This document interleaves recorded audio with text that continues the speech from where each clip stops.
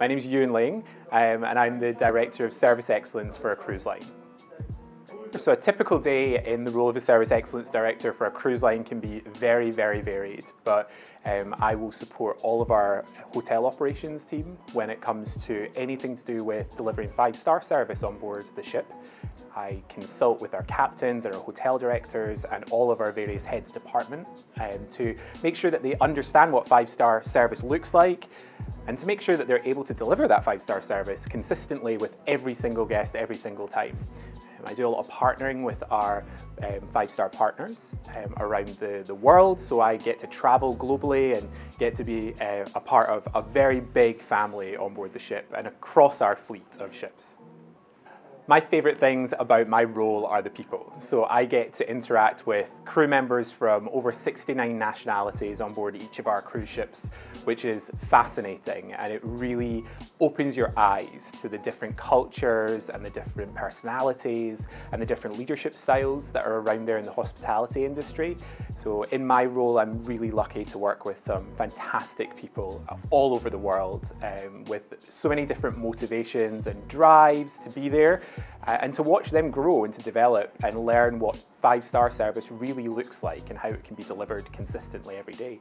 Um, and the most exciting thing for me is I love people and I love to be able to interact with uh, people, especially our guests and our guests come from all over the world. They might be celebrating special occasions or they might be there as one of their many vacations throughout the year. So it's great to get to know our guests, understand them, and then be able to deliver something really special for them on board the ship. So one of the most challenging things about the role of being a service excellence director on board our cruise ship is that we work with people from all over the world and everybody's interpretation of what five star looks like is based on their own um, in, uh, their own idea of what luxury is. So it's about making sure that we build consistency and that can be a really tough thing. But if you use your personality and if you use your own experiences and you use just some hard work and determination, it can really pay off and it means that the team are able to start working together as a team to deliver that consistent service to our guests. And that's what we really love um, in, in our role. So the cruise line industry is a really interesting industry to work in. I've been working in the cruise line industry for almost 10 years now. And when I first joined as a guest relations manager, I was shocked at how hard everyone works. You're working four, six months um, at a time. You don't get a day off. It's seven days a week. You could be working anything up to 13, 14 hours a day. Um, and that's hard work and it's really tiring and it's exhausting.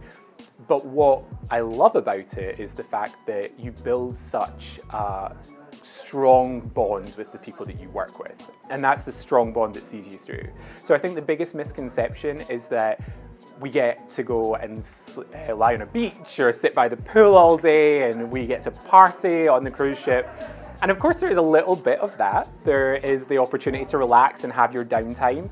But I think the misconception is that when all the guests go to bed, we go to bed too, but that's not the case. It is hard work and you have to be willing to put that hard work in.